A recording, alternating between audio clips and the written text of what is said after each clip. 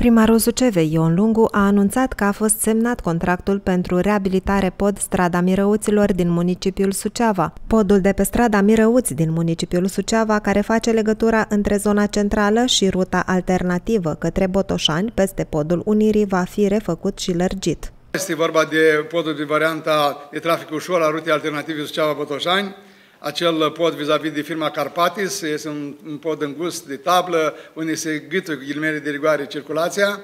Deci a fost a avut loc licitația, valoarea de 2.733.844,70 lei, inclusiv TVA, durata de realizare a investiției 21 de luni, dar m-au asigurat, vine și proiectare, m-au asigurat că va fi mai repede realizată lucrarea.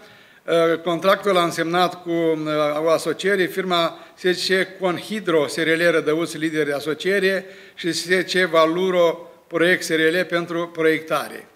Deja noi le dăm ordinul de începerea lucrărilor, uh, trebuie să pună garanția și sper ca în acest an să finalizăm și acest pod în ideea de a pune în valoare, așa cum am spus, ruta alternativă Suceava-Bătoșani și varianta de trafic ușor. Primarul a precizat că anul acesta vor începe lucrările și la etapa finală a rutei alternative care face legătura între cele două tronsoane finalizate și podul Unirii cu DN29. Investiția municipalității sucevene fiind de 91,63 milioane de lei, din care 43 de milioane de lei sunt asigurați prin Programul Național de Investiții Angel Salini.